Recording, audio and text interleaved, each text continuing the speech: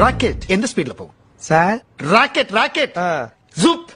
எந்த ஸ்பீட்ல போகும் ராக்கெட் விட்டது இல்ல சார் சின்ன வயசுல இருந்தே ராக்கெட்னா கொஞ்சம் பயம் சார் ஆனா இது சங்கு சகரம் புஷ்பானம் எல்லாம் எல்லாம் கொளுத்திடுறேன் சார் உங்க மாதிரி பணக்காரங்க வீட்டுல பரிமாறதான் நல்லா இருக்கும் ஆனா ஏழை வீட்டுல சாப்பாடு நல்லா இருக்கும். ஒண்ணு மட்டும் புரிஞ்சுங்க சாப்பிட்ட சாப்பாடெல்லாம் உடம்புல தங்கிட்டா உடம்பு கெட்டு போயிடும். சம்பாரிச்ச பணத்தெல்லாம் நீங்களே வச்சுக்கிட்டா வாழ்க்கை கெட்டு போயிடும். வாழு. மத்தவங்கள வாழ வச்சுட்டு வாழு. மத்தவங்க வாழ்க்கையை கெடுத்துட்டு வாழாத.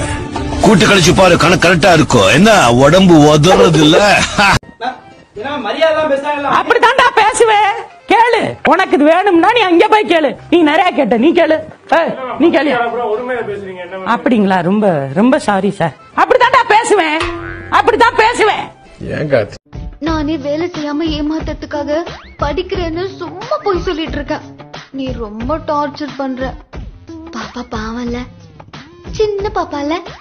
ப்ளீஸ் ஃபஸ்ட்டு நல்லா தான் பேசுவேன் ரெண்டாவது கடமைக்கு பேசுவேன் அப்புறம் பழகிட்டோன்னு பேசுவேன் கடைசியில் ஏன்டா பழகிட்டோம்னு போய் பேசுவேன் இதுக்கு எதுக்கு பேசணும்?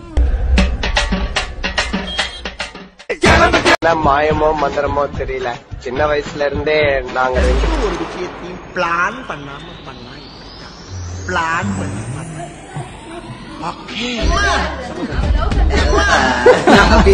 பேசி பேசி. எப்படிங்க சுழுக்கு பிடிச்சது? சும தூக்குனீங்களா? சும்மா இறக்குனீங்களா? வாய்க்கா வெட்டினீங்களா? வாய்க்கா அடைச்சிங்களா? இனிமேல் பேசுனா செருப்பு குண்டி அடிப்பா. அதுவும் பிஞ்ச செருப்பு அடி. தேவை எனக்கு இதெல்லாம். மரம் வெட்டினீங்களா? மரம் நட்டீங்களா? Oh.